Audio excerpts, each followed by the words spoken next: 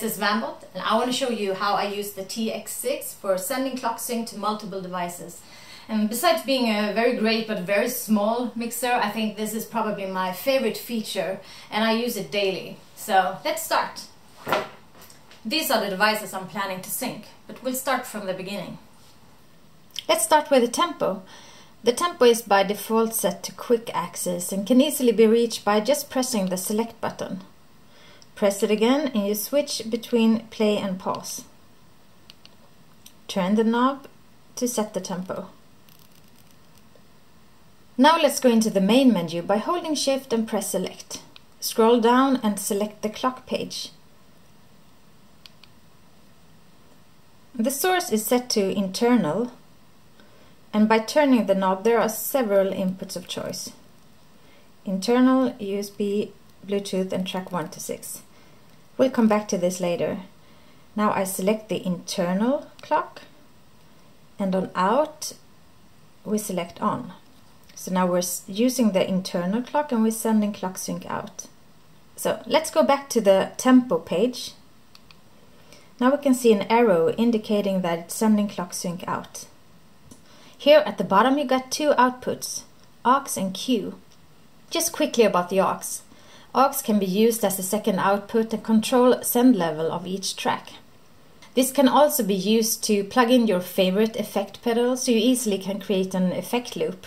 Or if you want to record on an external recording device, then this is a good output for that.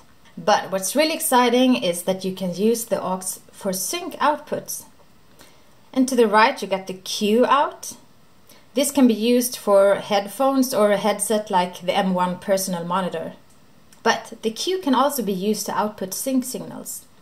Note that the aux has the strongest signal, 2 voltage, and the cue sends 1 voltage, and this can be switched in the out menu.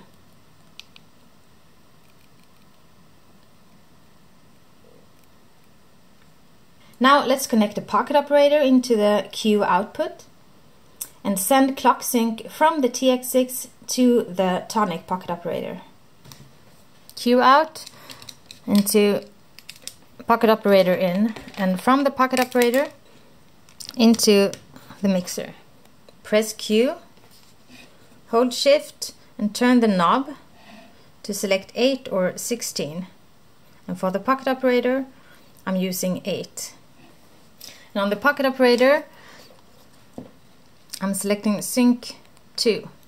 So now it receives sync and it sends stereo press start. It's working, it's in sync, and now adjust the tempo. It's following. So it works. Now let's connect the modular. Aux out into clock in and from the modular into track 2.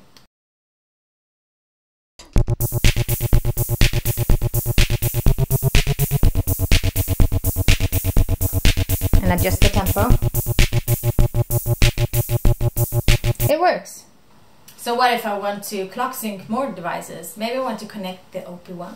For that we can use the MIDI clock out, send it from the USB into the OP1. So let's try that. The USB-C is located here at the top next to the track input.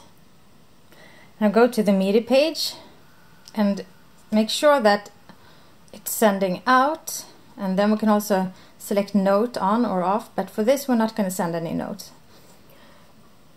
On the OP1 you can select tempo to be free, beat match which is like master, MIDI sync and pocket operator out. And for this we're going to use MIDI sync and this means that listen, it listens to an external clock.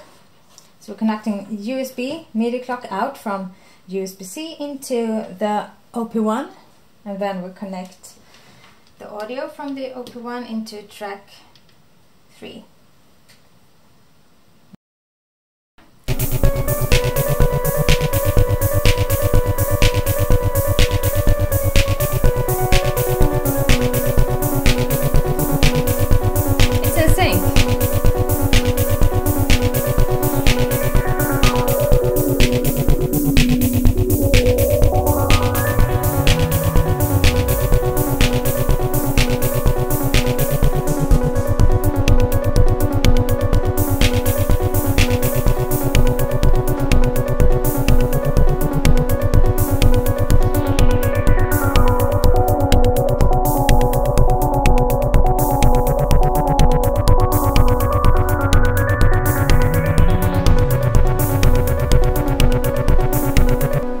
3. to show you how I use the OP-Z with the OP Lab module and send a trig out into one of the tracks and use that as an external clock. And for this we can use a mono cable since it's only using the tip of the connector. So connecting out into track 6. So we'll go to the clock menu and for this we'll use track 6 and out is still on which means it's sending the clock to the other devices. And now when we go to the tempo screen again, you can see there are two arrows. So one is indicating that it's using the external clock, and the other one is indicating that it's sending clock to the other devices. So now we've connected a trig out from the OP Lab module in the OP-Z. We're sending it to track 6. Uh, and notice that you have to select steps on the OP-Z to make a pulse trig. So read more about that in the OP Lab guide. Okay, so now we select a different tempo here. We're pressing play. So now we can see that it's listening to the incoming signal and analyzing that. And there's also a confidence meter at the bottom. TX6 has detected the tempo from the trig signal and sends it to the other devices.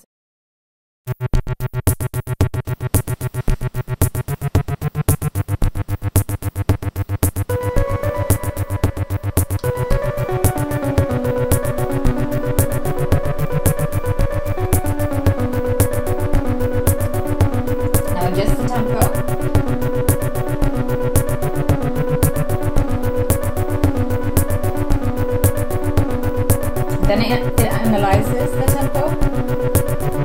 It takes a few seconds. Now it has detected it. And it's all in sync.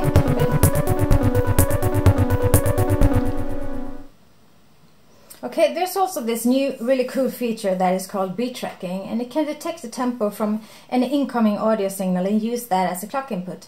This is really cool for live mixing a song from like the vinyl record player or for an old drum machine that has no suitable inputs or outputs for clock sync. So now I'm gonna try this from my iPhone.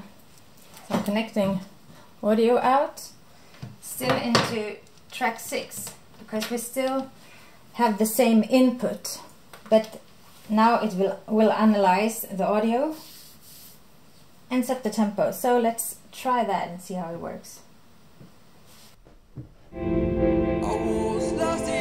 So as you see, you cannot really analyze this tempo right now because it's kind of floating, but it's working on it.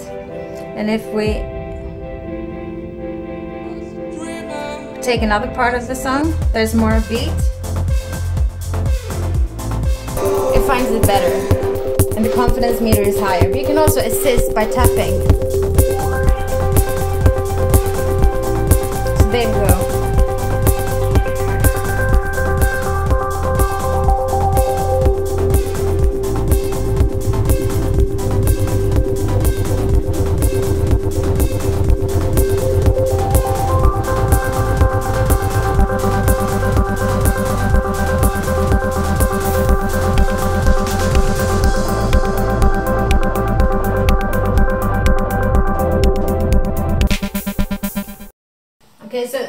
something I use just for fun. But it's easier if you have a song that has like a defined tempo or defined attack in the instruments. Otherwise, it's better to use the trig out, it's safer. Thank you so much for joining me and please subscribe to my mailing list on vanbotmusic.com or on my Instagram and hope to see you soon, okay? Bye!